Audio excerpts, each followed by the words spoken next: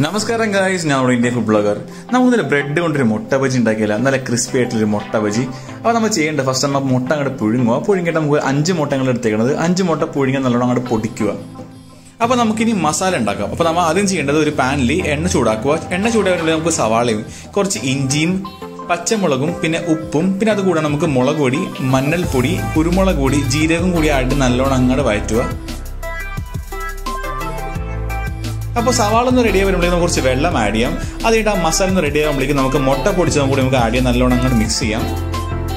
അപ്പോൾ നമ്മളുടെ മസാല കൂട്ട് ഓൾമോസ്റ്റ് റെഡി ആയിട്ടുണ്ട്. ഇനി നമുക്ക് ബ്രെഡ് റെഡിയാക്കാം അപ്പോൾ ബ്രെഡ് നമ്മൾ ചെയ്യേണ്ടത് നമുക്ക് ബ്രെഡ് എടുക്കുക അതിന്റെ സൈഡൊക്കെ എല്ലാം നമ്മൾ കട്ട് കളയുക എന്നിട്ട് ഇങ്ങനെ പരത്തി വെക്കണം.